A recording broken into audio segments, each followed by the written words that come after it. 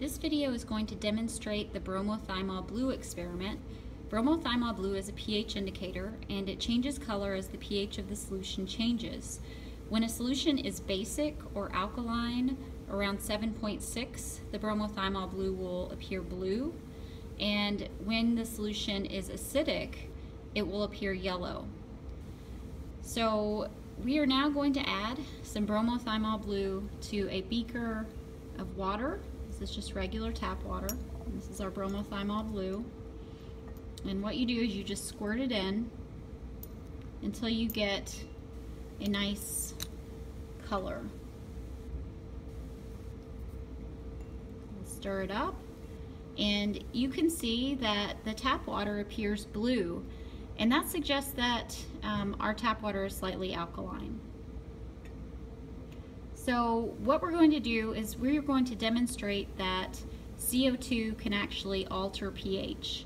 And we're going to get our CO2 by exhaling through a straw and blowing into um, the water here with the pH indicator of bromothymol blue.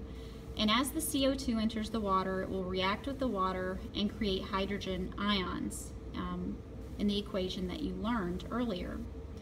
So as we breathe into this solution, the color of the solution should change as the solution becomes more acidic. So let's give it a go.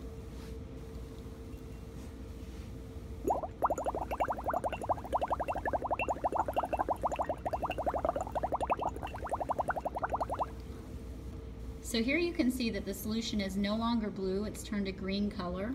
And if I continue,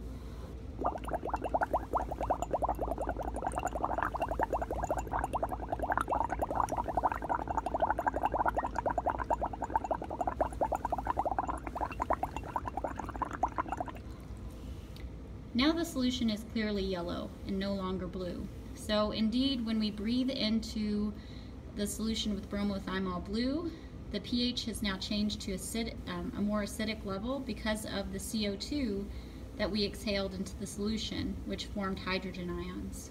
So I would like you to think about um, how this experiment could be altered if we added a buffer to the solution before blowing into it how it will be altered if you hyperventilated first, and how it will be altered if you held your breath for a minute before blowing into um, the solution.